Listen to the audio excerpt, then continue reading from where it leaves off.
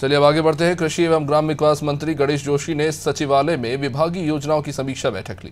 आज मंत्री गणेश जोशी ने कहा कि बैठक में केंद्र की योजनाओं की प्रगति रिपोर्ट जानी गई है और 80 प्रतिशत काम जो योजनाओं पर है वो किया जा चुका है। प्रधानमंत्री ग्रामीण आवास योजना के तहत राज्य को अठारह हज़ार आवास मिले हैं और हॉर्टिकल्चर के क्षेत्र में उत्पादन को दोगुना करने का लक्ष्य रखा है। विभाग में खाली पदों को भी जल्द भरने का काम किया जाएगा।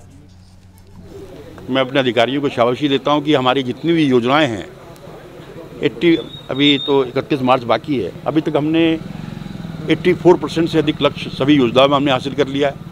प्रधानमंत्री ग्रामीण आवास योजना में जहाँ पूर्व में हमारे जो सोलह हज़ार आवास हमको मिले थे, उसमें से 94 परसेंट आवास हम दे चुके हैं और अट्ठारह हज़ार आवास अभी हमें और मिले हैं। इसी प्रकार जो हमारे ट्रेनिंग प्रोग्राम चलते हैं, हॉर्टिकल्चर विभाग भी मेरे पास है। कल मैंने किसानों की एक बैठक की थी। आज हमारे पास ग्राफ्टर नहीं है। हम ग्राफ्टिंग के लिए हम लोग जो है हिमाचल से लोगों को बुलाते हैं। तो हमने कहा कि एक हज़ार लोगों की ट्रेनिंग जो है इस योजना के माध्यम से करी जाए ताकि उस दिशा में भी मदद मिले।